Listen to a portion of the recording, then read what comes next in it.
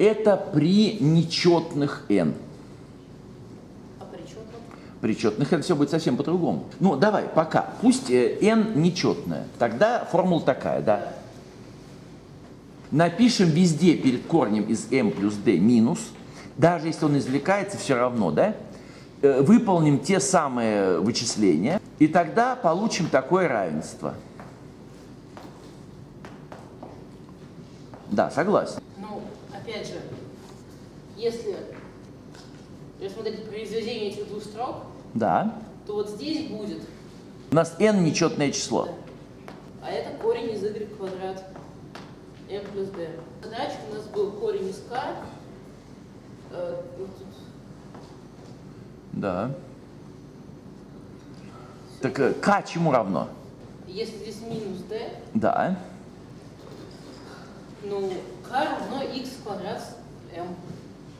Вот это k, это k плюс d в степени n. Да, согласен. И их разность это как раз минус d в степени n. Да. Хорошо. Э, Значит, для нечетного n задача решена. Интересный философский вопрос. В чем разница между четным и нечетным? будет. Будет просто совсем по-другому. Нет. Никакого x и y не будет. Представь себе, что ты возводишь в четную степень. Сумму корней возводим в четную степень. Что будет? В некоторых местах будет э, Ну, корень целое число. корень именно. и. Так надо написать эту формулу. Если n число четное, что будет? Поставим минус перед корнем из m плюс d. Ну, некогда привести перед корнем из m.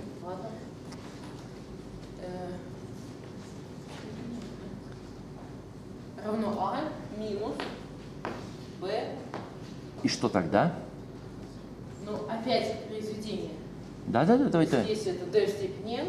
Да. Здесь это а квадрат Да. минус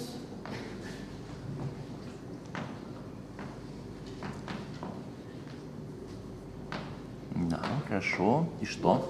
это корень из а квадрат, это корень из И эти числа опять отличаются ровно на d в степени n. Да? Спасибо. Отлично.